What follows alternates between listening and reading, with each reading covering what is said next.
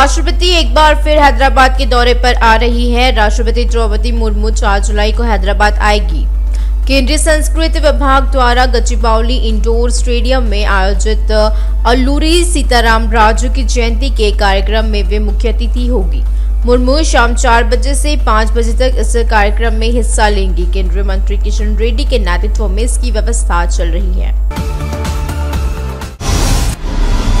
अंतर्राष्ट्रीय ओलंपिक दिवस के उपलक्ष्य में एलबी स्टेडियम में ओलंपिक रन का आयोजन किया गया और कार्यक्रम में मुख्य अतिथि के रूप में मंत्री तलसानी, श्रीनिवास यादव, श्रीनिवास गौड़ संचालन समिति के अध्यक्ष और राउला श्रीधर रेड्डी शामिल हुए। मंत्री तलसानी, श्रीनिवास यादव ने उपल स्टेडियम पर सनसनीखेज टिप्पणी करते हुए कहा है कि एचसीए में भ्रष्टाचार बढ़ गया है। उन्होंने कहा है कि चयन में अनियमितता बरती गई है। उन्होंने कहा कि उपल स्टेडियम की लीज जल्द ही खत्म हो जाएगी। मंत्री ने बताया कि सरकार उपल स्टेडियम पट्टे पर पुनर्विचार करेगी। उपल स्टेडियम को खेल प्राधिकरण को सौंपने की मांग की घोषणा करी गई है। संचालन समिति के सदस्य राहुल लाल चंद्रशेखर ने कहा कि हैदराबाद में भारतीय ओलंपिक संघ द्वारा आयोजित ओलंपिक दौड़ में पंद्रह छात्रों और एथलीटों ने भाग लिया। खेल भावना को दर्शाने के लिए यह कार्यक्रम आयोजित किया गया था। राव ने कहा है कि सीएम केसीआर की मंशा एथलीटों को ओलंपिक के लिए तैयार करना है ताकि खेल संस्कृति उभर सके। चिंतला रामचंद्र रेड्डी ने तेलंगाना सरकार पर साधा निशाना। रामचंद्र रेड्डी ने कहा है कि वे तेलंगाना को केंद्र द्वारा दिए गए फंड पर चर्चा के लिए तैयार है। रामचंद्र रेड्डी ने कहा है कि केसीआर परिवार देश और राज्य को लूट रहा है। बीआरएस नेताओं को स्वीकार करना चाहिए कि अगर वे चर्चा में नहीं आए तो फिर ज़रूर उन्होंने गलत किया है। बीआरएस की कार्यकारी अध्यक्ष केटीआर दिल्ली के लिए रवाना हो गए हैं। वह दो दिनों तक दिल्ली में ही रहेगी और इसी मौके पर कई मंत्रियों और अधिकारियों के साथ उनकी बैठक होगी और केटीआर केंद्रीय गृह मंत्री अमित शाह से भी मुलाकात करेंगे। पहले भी कई बार दिल्ली का दौरा कर चुके केटीआर ने केंद्रीय मंत्रियों से मुलाकात करी और लेकिन अमित शाह से उनकी मुलाकात नहीं हुई। लेकिन राजनीतिक गलियारों में ये बात चर्चा का एक विषय बनी हुई है कि दोनों चार साल बाद मिले, ये कहा जा रहा है कि वह राज्य की परियोजनाओं के लिए केंद्रीय समर्थन मांगने के लिए दिल्ली के दौरे पर जा रहे हैं, लेकिन पता चला है कि केटीआर और अमित शाह के बीच बैठक में अन्य राजनीतिक मुद्दों पर भी चर्चा होने की संभावना है। बीआरएस पार्टी के सूत्रों का कहना है कि केटीआर एक बार फिर राज्य के लंबित मुद्दों पर अधिक दबाव बनाने के लिए दिल्ली जा रहे हैं, क्योंकि राज्य सरकार द्वारा किए गए विभिन्न विकास कार्यक्रमों के लिए केंद्र सरकार के समर्थन नहीं मिल रहा है। बताया गया कि केटीआर रसूलपुरा में किए गए सड़क विकास कार्यक्रमों के लिए गृह विभाग के तहत ज़मीन के बारे में अमित शाह से बात करेंगे और ऐसा लगता है कि शहर में स्काई रोड के निर्माण के लिए रक्षा विभाग द्वारा मांगी गई छावनी की जमीनों के मुद्दे पर रक्षा मंत्री राजनाथ सिंह के साथ बैठक होगी और मेट्रो के विस्तार को लेकर केटीआर संबंधित विभागों के केंद्रीय मंत्रियों के साथ बैठक करेंगे। राज्य में सत्तारूढ़ बीआरएस और केंद्र सरकार में बीजेपी के बीच सुलह की खबरों के बीच केंद्रीय मंत्री किशन रेड्डी ने बीआरएस सरकार की आलोचना करी। उन्होंने स्पष्ट किया है कि बीजेपी ने अब तक बीआरएस के साथ गठबंधन नहीं किया है। उन्होंने आरोप लगाया कि जिस स्वर्णिम तेलंगाना को सैकड़ों लोगों ने हासिल किया, उस पर एक ही परिवार का कब्जा है। उन्होंने कहा है कि सीएम केसीआर के परिवार ने जनता के हज़ारों करोड़ रुपए लूटे हैं। उन्होंने आलोचना करी है कि वे उस पैसे से सत्ता में वापस आना चाहते हैं। उन्होंने कहा कि बीआरएस शासन में तेलंगाना भ्रष्ट हो गया है और भारतीय जनता पार्टी बीआरएस के विकल्प के तौर पर खड़ी होगी। किशन रेड्डी ने कहा कि कांग्रेस और बीआरएस दोनों एक है। उन्होंने कहा कि अगर कांग्रेस विधायक जीतते हैं तो वो फिर से बीआरएस में शामिल हो जाएँगे।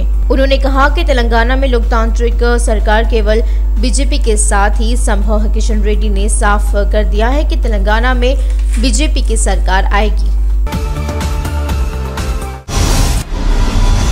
राज्य में सत्तारूढ़ बीआरएस और केंद्र सरकार में बीजेपी के बीच सुलह की खबरों के बीच केंद्रीय मंत्री किशन रेड्डी ने बीआरएस सरकार की आलोचना करी है। उन्होंने यह स्पष्ट कर दिया है कि बीजेपी ने अब तक बीआरएस के साथ गठबंधन नहीं किया है। उन्होंने आरोप लगाया कि जिस स्वर्णिम तेलंगाना को सैकड़ों लोगों ने हासिल किया और उसी पर एक ही परिवार का कब्जा है। उन्होंने कहा कि सीएम केसीआर के परिवार ने जनता के हज़ारों करोड़ रुपए लूटे हैं। उन्होंने आलोचना करी कि वे उस पैसे से सत्ता में वापस आना चाहते हैं। उन्होंने कहा कि बीआरएस शासन में तेलंगाना भ्रष्ट हो गया है और भारतीय जनता पार्टी बीआरएस के विकल्प के तौर पर खड़ी होगी। किशन रेड्डी ने कहा कि कांग्रेस और बीआरएस दोनों एक है। उन्होंने कहा है कि अगर कांग्रेस विधायक जीतते हैं तो वे फिर फिर से बीआरएस में शामिल हो जाएँगे। उन्होंने कहा कि तेलंगाना में लोकतांत्रिक सरकार केवल बीजेपी के साथ ही संभव है। किशन रेड्डी ने साफ़ कर दिया कि तेलंगाना में बीजेपी की सरकार आएगी। विधायक जग्गा रेड्डी के मांग करी है कि पुलिस एनएसयूआई के प्रदेश अध्यक्ष बालमुरी वेंकट के ठिकाने का तुरंत खुलासा करे। विधायक जग्गा रेड्डी, एनएसयूआई अध्यक्ष वेंकट के लिए अधिवटला पुलिस स्टेशन के, और पुलिस ने बालमुरी वेंकट का पता बताने के लिए कहा कहा गया। और जिन्हें गुरु नानक विश्वविद्यालय में गिरफ़्तार किया गया था। गुरु नानक कॉलेज के छात्रों के लिए न्याय की मांग को लेकर कॉलेज में धरना देने वाले वेंकट की गिरफ्तारी को अपमानजनक बताया गया। जग्गा रेड्डी ने आरोप लगाया कि वेंकट को उसके ठिकानों के बारे में जाने बिना गिरफ़्तार कर लिया गया और एक पीएस से दूसरे पीएस में स्थानांतरित कर लिया गया। विधायक ने साफ़ किया है कि जब तक बालमुरी वेंकट का पता नहीं चल जाता, तब तक वे एनएसयूआई छात्रों के साथ सभी पुलिस स्टेशनों का चक्कर लगाएँगे। सगारेड्डी ज़िले के हन्नूर मंडल के वेडेपल्ली के ग्रामीण में सनत नगर में तेलंगाना राज्य प्रदूषण नियंत्रण बोर्ड कार्यालय पर विरोध प्रदर्शन किया और वडेपल्ली गाँव के लोगों ने विरोध किया कि केमिकल कंपनी के निर्माण के उन्हें पीने के पानी से वंचित होना पड़ेगा। सुरभि केमिकल फैक्ट्री को तत्काल हटाने के लिए सनत नगर प्रदूषण नियंत्रण बोर्ड के समक्ष लाया गया और उन्होंने इस बात पर चिंता व्यक्त करी है कि अधिकारी कई बार अनुरोध के अनुसार कार्रवाई नहीं कर रहे हैं। गाँव के लोगों ने अपनी शिकायत बताते हुए कहा कि संजीव राव नाम के एक व्यक्ति ने पहले कहा कि वह एक जल संयंत्र का निर्माण कर रहा है, फिर एक रासायनिक कारखाना स्थापित किया और पीने के पानी में रासायनिक कचरा छोड़ दिया। उन्होंने मांग करी है कि सरकार तुरंत सुरभि केमिकल फैक्ट्री का परमिट रद्द करे और लोगों की जान बचाए कर्नाटक में कांग्रेस पार्टी की सफलता के बाद तेलंगाना की राजनीति में महत्वपूर्ण घटनाक्रम हो रहा है। पूर्व सांसद पंगुलेटी, श्रीनिवास रेड्डी और टीआरएस छोड़ने वाले पूर्व मंत्री जुपल कृष्णा राव जल्द ही कांग्रेस में शामिल होने वाले हैं। दोनों नेताओं ने स्पष्ट बयान दिया है और इसीलिए कांग्रेस नेता कह रहे हैं कि इससे राज्य में बीआरएस का पतन शुरू हो गया है। लेकिन इन सब बातों से ऐसा लग रहा है कि जोश में दिख रही कांग्रेस पार्टी को झटका लगने वाला है और ऐसी खबरें हैं कि सगा रेड्डी विधायक जगा रेड्डी, जो वर्तमान में कांग्रेस विधायक है, जल्द ही कांग्रेस पार्टी को अलविदा कहकर बीआरएस का थाम, दामन थामने वाली है। और इस बात पर भी संदेह जताता जाता है कि वह चुप क्यों है? और इसी बारे में कुछ बोल क्यों नहीं रही है? और जब ऐसा लग रहा है कि तेलंगाना में कांग्रेस मज़बूत हो रही है। तो चर्चा है कि बीआरएस ने पार्टी को उल्टा झटका देने की योजना बनाई है। अब ऐसा लगता है कि बीआरएस सूत्रों के योजना तैयार की है कि जका रेड्डी जो संयुक्त मेदक ज़िले में कांग्रेस पार्टी के एक मज़बूत नेता है बीआरएस में शामिल होकर पार्टी का अंकुश लगा सकते हैं। ऐसा लगता है कि बीआरएस ने भी तेलंगाना में प्लान को बढ़ावा दे रही कांग्रेस पार्टी पर लगाम कसने के लिए रिवर्स अटैक शुरू कर दिया है। एमएलसी मधुसूदन चारी ने कहा है कि भारतीय कला और परंपराओं ने पश्चिमी देशों को भी प्रभावित किया है। शांति कृष्णा सेवा समिति की तीसवीं वर्षगांठ तेलंगाना दशक समारोह के अवसर पर बिडला तारामंडल में मनाई गई। कार्यक्रम में मुख्य अतिथि के रूप में मंत्री रबली दयाकर और एमएलसी मधुसूदन चारी शामिल हुए। मधुसूदन चारी ने कहा है कि युवाओं को पश्चिमी सभ्यता की आदत नहीं, बल्कि भारतीय पारंपरिक कलाओं की आदत डालनी चाहिए। निर्देशक विश्वनाथ ने फ़िल्मों फ़िल्मों के माध्यम से दुनिया भर में भारतीय कला की मान्यता का गुणगान किया। उन्होंने गुरुओं और कलाकारों के लिए स्वर्ण नदी पुरस्कार की अध्यक्षता करी है।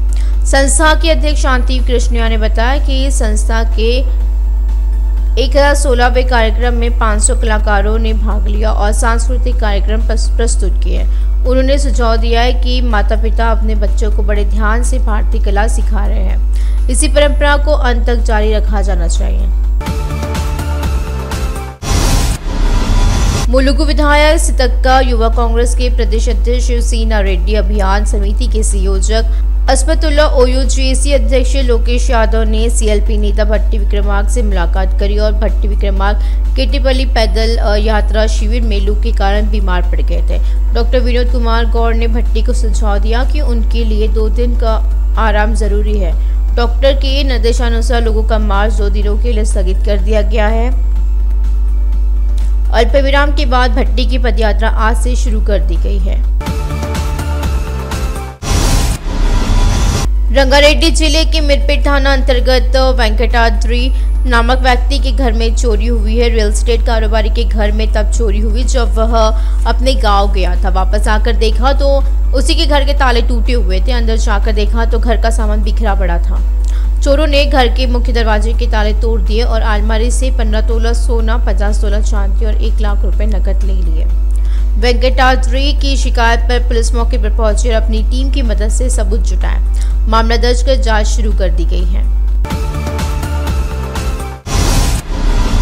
मेरठ ज़िले के कुतुबुल्लापुर निर्वाचन क्षेत्र के पेट बशराबाद पुलिस स्टेशन के आलवाल लोयला कॉलेज क्षेत्र में आग लगने की घटना हुई है। कार में आग लग गई और ऐसा लगता है कि सुचिना में यादगिरी नाम का शख्स अपने किसी परिचित से कार खरीद कर घर लौट रहा था।